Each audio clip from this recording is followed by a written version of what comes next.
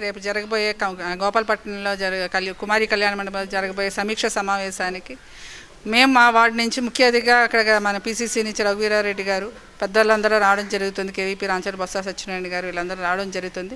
దానికి దానికి మీ అందరం మా మా మన క- నార్త్ నుంచి కంటెస్టెంట్గా నేను నాతో పాటు వార్డు ప్రెసిడెంట్స్ కార్యకర్త ముఖ్యమైన కార్యకర్తలందరూ ఆ సమావేశానికి హాజరవడం జరుగుతుంది.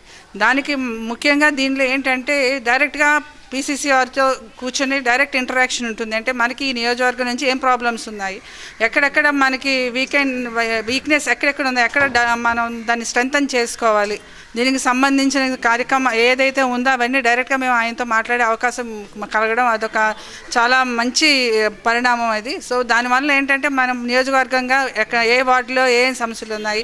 తర్వాత ఎవరు కష్టపడి పనిచేస్తారో ఆల్రెడీ ఎస్టాబ్లిష్ అయిపోయిన పెద్దవాళ్ళు ఎవరు ఉన్నారో వాళ్ళకి ఒక ఏదైనా పోస్టులు ఇచ్చి వాళ్ళని వాళ్ళతో పాటు ఒక పది మంది కార్యకర్తలు పనిచేసే విధంగా రేపు వచ్చే కార్పొరేట్ ఎలక్షన్స్ కూడా మనం ఇప్పటి నుంచి ఒక్కొక్క స్టెప్ బై స్టెప్ వేసుకుంటూ వెళ్తూ ఆ కార్పొరేషన్ ఎలక్షన్స్కి జనంలోకి మనం వెళ్ళడానికి ఇది ఒక సదా అవకాశం వచ్చింది కాబట్టి దీన్ని నేను ఒక మంచి ఉపయోగాన్ని కలుగజేస్తుందని చెప్పి మేము అనుకుంటూ రేపు వచ్చే రఘువీరారెడ్డి గారికి కూర్చొని ఎదురుగుండా కూర్చొని మాకున్న మన ఈ మన బాడీ ప్రెసిడెంట్లు కానీ కార్యకర్తలు కానీ ఆయనతో డైరెక్ట్గా మాట్లాడడం ఆయన ఇచ్చే సలహాలు లేకపోతే మేము చెప్పేది దానికి ఆయన ఎలా స్పందించి మాకు ఎలా దాని నుంచి ఆయన దగ్గర నుంచి మాకు ఎలాంటి ఉత్తర్వు వస్తుందో చూసి జరగబోయే ఈ పీసీసీ దాంట్లో కూడా పోస్టులు అవి ఉన్నాయి. బీసీసీ ఎస్సీ సెల్స్లో కూడా పోస్టులు ఉన్నాయి. అవి కూడా కమిటీలు వేయడం జరుగుతుందని చెప్పారు.